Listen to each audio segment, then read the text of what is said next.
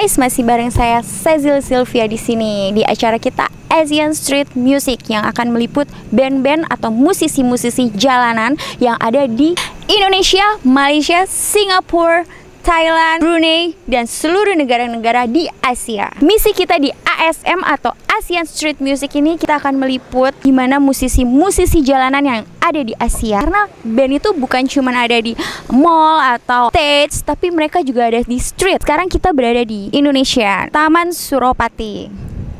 And now sekarang kita lihat musisi jalanan yang bakal kita liput malam ini. Oke, stay tune, come on.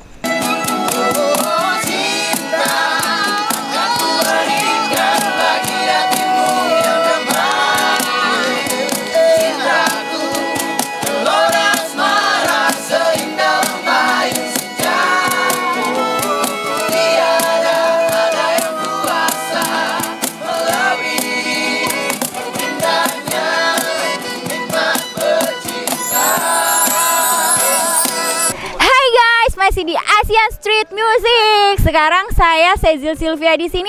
Kita udah bareng sama musician of the street kali ini. Namanya apa? Kalian Suropati Ah, keren banget kan tadi penampilan mereka. Nah, sekarang kita mau interview ya salah satu dari mereka nih. Halo, apa kabar? Kabar baik. Eh, kalian udah berapa lama nih terbentuk? Kita terbentuk kurang lebih eh, udah tiga tahun ya. Tiga tahun. Awalnya memang kita ngamen-ngamen di Taman Suropati ya. Karena Taman Suropati ini merupakan satu taman percontohan di DKI Jakarta. Dan biasanya eh, selain ngamen juga kita punya kegiatan rutin. Oh gitu. Eh, eh, Di mana tuh?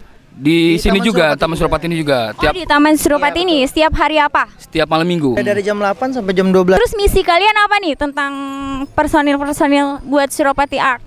Kalau misi kita pertama meng- menghidupkan taman ya, menghidupkan taman Suropati, terus eh, menjadikan taman-taman di Jakarta sama dengan Taman Suropati. Terus kalau untuk eh, jamming malam minggunya itu kita merupakan suatu wadah, wadah apresiasi eh, teman-teman yang punya kreativitas. Nah, acara ini juga free. Kamu genre musiknya apa aja sih yang kalian bawakan?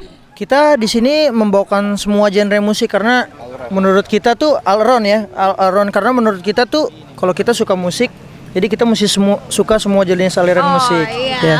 Dari musik klasik yang di sini juga ada banyak orkestra-orkestra dan kita anak-anak di taman sini juga menyediakan kalau yang mau belajar itu setiap hari Minggu si siang tepatnya jam 2 ya mungkin ada eh, komunitas yang namanya Kota Seni. Kota Seni. Itu kita mengajarkan anak-anak eh, Biasanya lebih ke string ya, biola, eh, Cello. cello, kayak gitu. Oh gitu. gitar juga ada. Jadi ada kursus alat musik juga ya, maksudnya bisa belajar bareng-bareng di Iya. sini. Kakak kamu kenapa eh, milih untuk bermusik di sini? Soalnya di sini kan banyak teman-teman juga. Jadi kalau misalnya eh, pertama eh, nambah-nambahin teman, kedua kan semakin banyak teman semakin banyak juga kita bisa apa namanya sharing, sharing juga tentang musik gitu aja Nambah sih. penghasilan juga ya. Iya, nambah penghasilan buat jajan juga.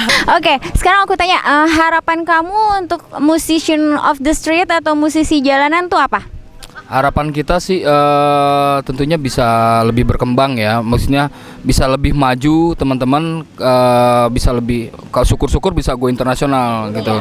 Eh, Terus dari antara teman-teman juga eh, udah ada yang sudah pernah long trip kayak Dev pernah ke Thailand, terus eh, eh, sama yang lain juga pernah long trip ke daerah gitu kan. Nah, harapan kita bukan hanya satu orang aja yang berangkat tapi teman-teman di sini juga udah eh, bisa mengembangkan sayapnya selain ngamen di sini aja. Kamu punya kata-kata mutiara nggak untuk para musisi jalanan atau musician of the street lainnya?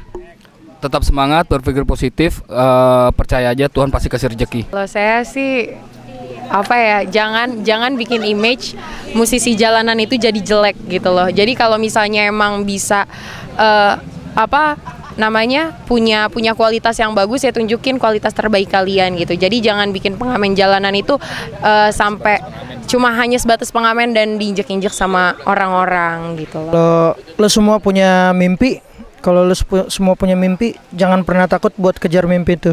Kalian punya kontak person atau Facebook, Twitter atau apa yang bisa kalian informasikan? Ada kita ada Twitter di @artsuropati.